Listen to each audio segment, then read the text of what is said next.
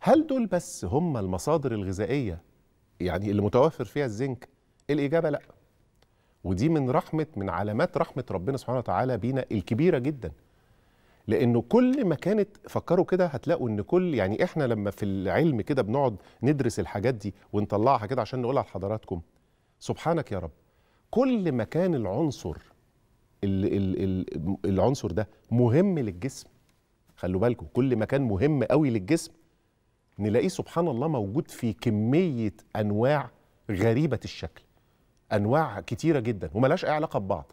يعني بالبلدي كده اللي ما بيحبش حاجة لازم هيلاقيه بيحب حاجة تانية.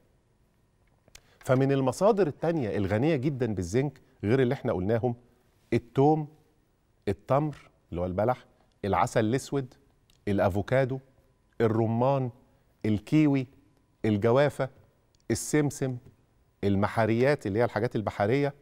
البطاطا الفاصوليا الخضراء القمح الكينوا الرز الشوفان الحبهان اللي هو الهيل الزعتر الكمون الكراوية البقدونس اليانسون الكركم الجنزبيل.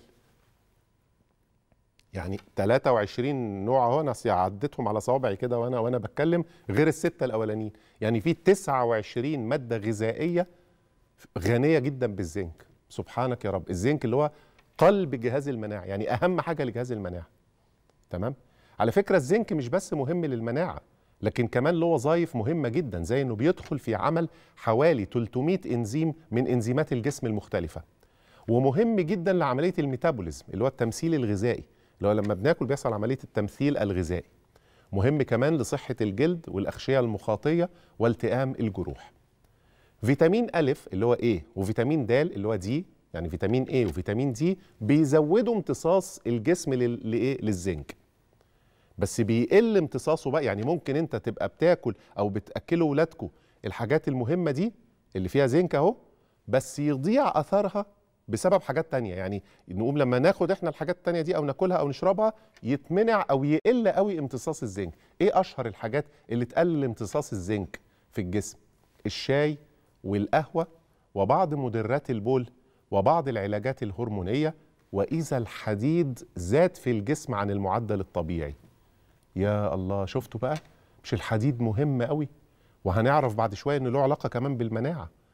بس إذا زاد عن المعدل الطبيعي عشان كده إيه؟ حضراتكم بتاكلوا حاجات فيها حديد يبقى كويس قوي.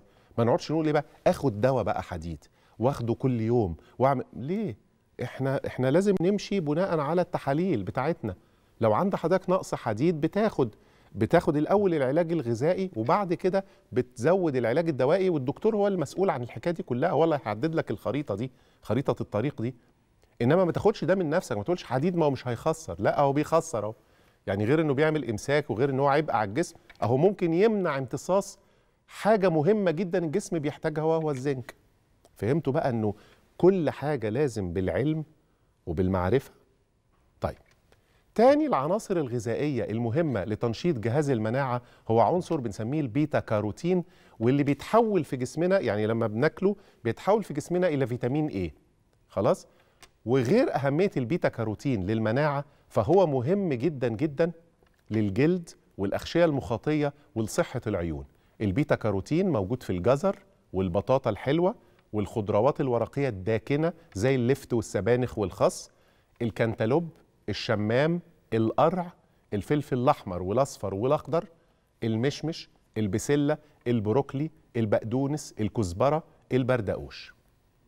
ثالث العناصر هو فيتامين ألف أو A وغير أهميته للمناعة فهو مهم جدا برضو للقلب والكلى والرئتين والبشرة والصحة الجنسية. موجود في كل الحاجات اللي فاتت اللي قلناها في البيتا كاروتين. نضيف عليهم بقى اللحوم والأسماك ومنتجات الألبان. الزنك وفيتامين دي يساعدوا الجسم على امتصاص فيتامين A. لكن اللي يمنع امتصاصه الكحوليات وبعض المضادات الحيوية وبعض أنظمة خفض الوزن اللي هي الدايت قليلة الدهون. ما ينفعش تبقى إيه الدهون قليلة قوي. يتمنع على طول امتصاص فيتامين إيه من الجسم.